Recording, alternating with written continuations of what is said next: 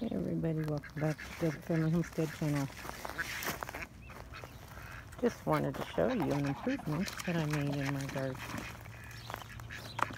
Got too close to Mama and her babies.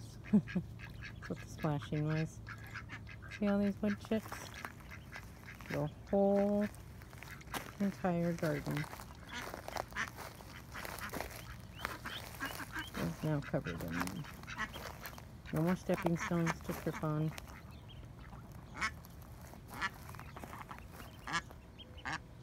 All the way over there in between all the beds on our local gardening page. A local gardener posted that she had gotten a couple drops of free wood chips and she and I said something about I wish I could find a truck doing that.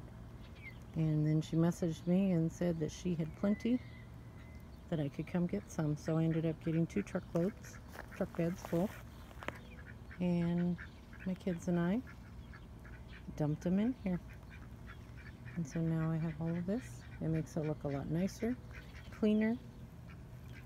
I don't have to worry about stepping, tripping over stepping stones. And if a bed overflows or when it leaks out the bottom or one of the sides, hey,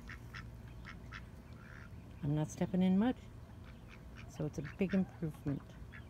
So if you can get a hold of free wood chips, I recommend you mulch your garden like this.